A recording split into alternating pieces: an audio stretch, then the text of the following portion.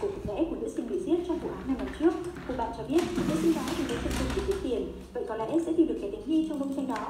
Nhưng khi vẽ xong thì nữ sinh đó đã trả hàng rồi, không còn để lại bất kỳ bức tranh nào cả. Tuy nhiên, vẫn có bản phác thảo trước khi vẽ. Cô bạn lấy ra rồi đưa cho hai người. Trong bức tranh phác thảo, chúng ấy ô nhận ra một người quen.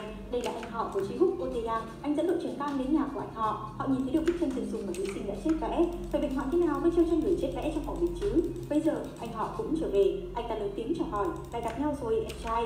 Mấy người ngồi xuống nói chuyện. Có vẻ mối quan hệ của chị Húc với anh họ không tốt lắm. Vừa mở đầu câu chuyện, chúng ý ô đã hỏi anh họ có phải anh là người giết nữ sinh đó năm năm trước không? Điều này khiến ông anh ngạc nhiên. Em thật sự muốn hỏi thẳng như vậy sao? Chị Húc không nhận. Nào trả lời em đi. Anh họ tức giận đuổi hai người về. Bây giờ đội trưởng Cang mới thắc mắc.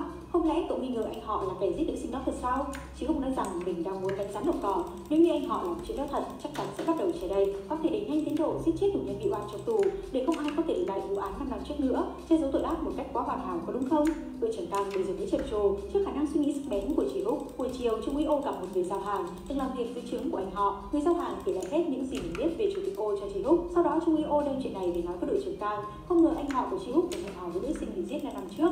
Bây giờ đội trưởng Cang mới nói ra nghi ngờ của mình. Có khi nào vì bị phản bội mà anh họ của cậu mới giết người? Chị Húc không phủ nhận. Thực chất anh từng chứng kiến sự tàn ác của anh họ ngay từ lúc nhỏ. Vậy quả thật đây đúng là một tên biến thái. Để điều tra hắn thật rõ ràng mới được. Rất có thể hắn là hung thủ của vụ án năm năm trước. Tuy nhiên đội trưởng Cang còn một lo lắng vì chị Húc là người nhà của nghi anh có thể bị loại khỏi vụ này. Nhưng chúng Mỹ Ô còn ghét anh họ vãi nồi. Không sao, dù hắn ta có là hung thủ thực sự, em cũng phải bắt cho bằng được. Buổi tối Trung Mỹ Ô trở về đồn cảnh sát, cậu em trong đội mang con dao của tên cô đồ cùng kết quả giám định đến cho chị Húc. Trên đó không tìm ra được ADN của anh giám mục đã chết. Trung Mỹ Ô đành phải thả tên cô đồ ra. Bất ngờ, anh nhận được cuộc gọi của đội trưởng Cang. Có người muốn gặp cậu để nói chuyện. Sau đó chị Húc lên đường đến quán rượu. Tới nơi, anh thấy đội trưởng Cang đang nhiệt tình kể lại những chuyện mà họ điều tra được gần đây. Phóng viên Chin liên tục tiếp rượu cho anh ấy. Trung Mỹ Ô ngồi xuống châm biếng. Không ngờ phóng viên Chin lại dùng rượu mang thông tin